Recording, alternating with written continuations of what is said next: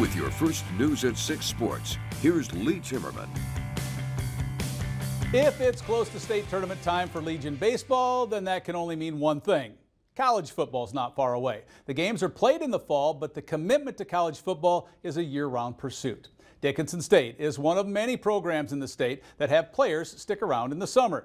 The workouts certainly are not as organized uh, as or as intense as in season, but they could be just as important we really emphasize that, that that you win you know win things in the off season. And you know we have spring ball and we say that's kind of the first quarter. And then we have a June session of workouts and a July session. And that's our second and third quarter. And then in our preseason is our fourth quarter. But in July in June and July it's imperative. And we've been very fortunate. This year we'll have over 70 players that are in town in Dickinson uh, working out.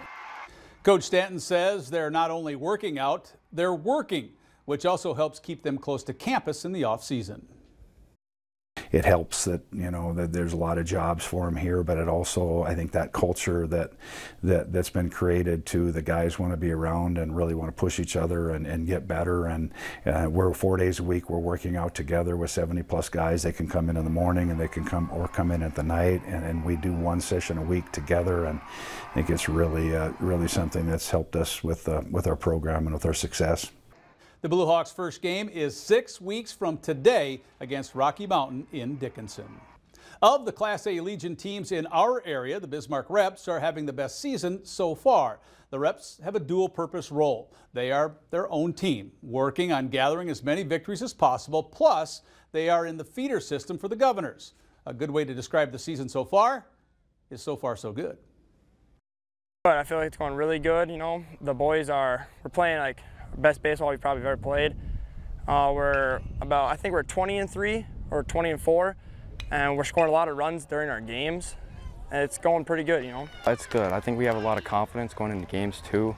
Like we've been, like when we go and play games, we always, uh, we have a lot of fun before games too, which gets our minds going too. Chris has done a really good job keeping these guys together and making sure they're playing hard, and these guys have just worked their tails off all year long and competed really, really well, which has been awesome to see.